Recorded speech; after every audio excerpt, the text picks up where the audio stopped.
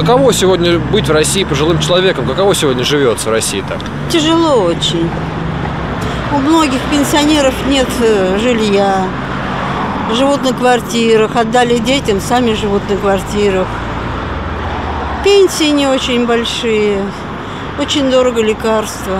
Все дорожает, все дорожает, пенсия маленькая. Как мы живем? Так существуем, а не живем мы.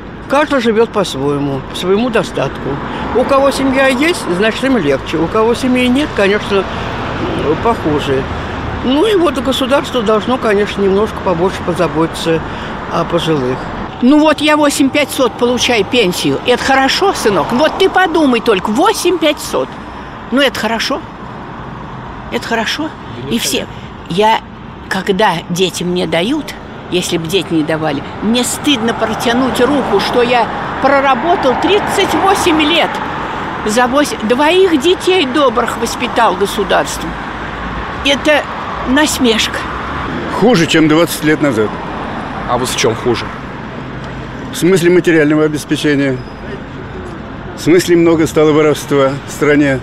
Притом задают его первые лица государства. Вот этим стало хуже.